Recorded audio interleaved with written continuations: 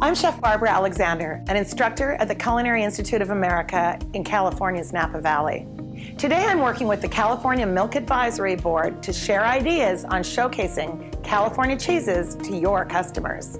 Elegant California cheeses are being showcased in cheese courses all across the food service spectrum. At restaurants, of course, but also with caterers, delis, and in retail. These cheese courses are offered as appetizers, mid-meal, and dessert.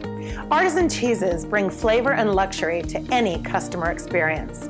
When crafting a beautiful cheese board, presentation is everything. Break cheeses into different sized pieces to allow diners to choose their portion.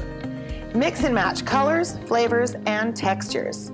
Add jellies, honey, and compotes. Intersperse nuts, fruits, and meats.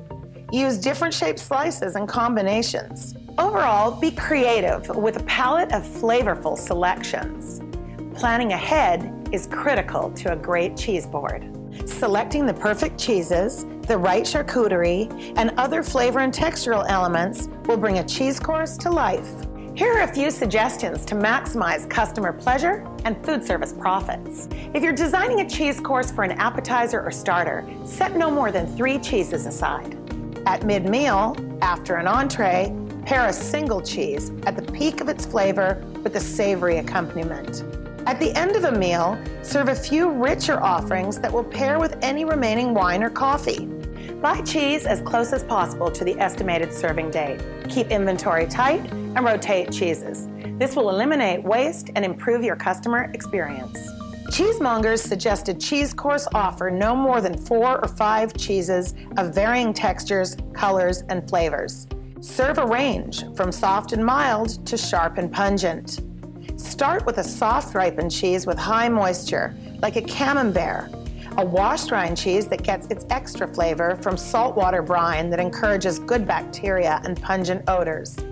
Next, a semi-hard or hard cheese with less moisture and a firmer texture Gouda and Monterey Jack are excellent examples.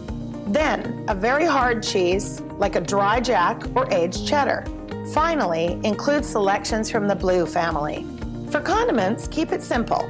Nuts, dried fruit, honey, jams, or tapenades to complement the cheese flavors. As for charcuterie, the saltiness of cured meats goes well with many kinds of cheese. Consider serving a selection of prosciutto, salumi, pate, and terrine, along with pickled vegetables. In general, contrast salty cheese with sweet flavors like dates or ripe fruit. Complement milder cheeses with more flavorful offerings like salty nuts or sun-dried tomatoes. Serve sliced bread or crackers in a bowl or basket. Try different types, rye, whole wheat, or seeded. Serve fresh cheeses cold. All other cheeses should be served at room temperature about an hour out of the refrigerator, but not from a hot kitchen.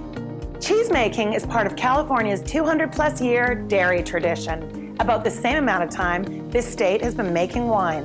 Today, more than 50 of the state's cow's milk cheesemakers are crafting more than 250 varieties and styles of award winning California cheeses. Nothing says California like a selection of handcrafted cheeses complemented by savory meats, dried fruit, and nuts. Paired with an equally beautiful bottle of California wine, the perfect cheese board is easy to prepare and will drive incremental sales.